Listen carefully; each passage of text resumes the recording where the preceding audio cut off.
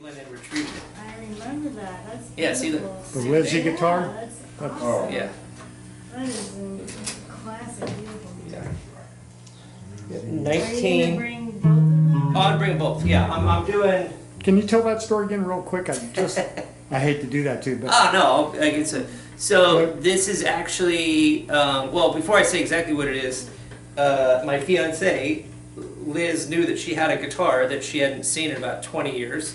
That one of her best friends and her the woman who will be her maid of honor um, had been storing for her because Liz is a traveling nurse and she was traveling like all over the world, uh, working all over the place and traveling quite a bit and didn't want to take it all around. So for safekeeping, her friend had it, and it had been so long that Liz couldn't remember what it was, but she knew it was maroon. So this was known as the maroon mystery guitar.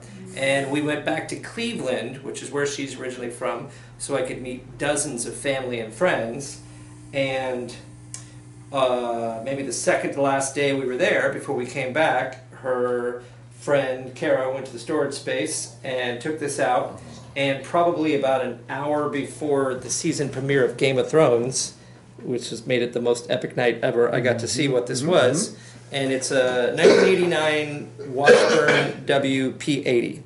And the pickup, this stock, this was made by a woman named Maricela J, who now makes only custom pickups like for rock stars and stuff. But uh, it's a, it was made for Billy Gibbons, and uh, this pickup, and uh, and I uh, texted all the info to Uli John Roth's old guitar tech, and he told me the pickup's probably worth more than the whole guitar. right, right, right.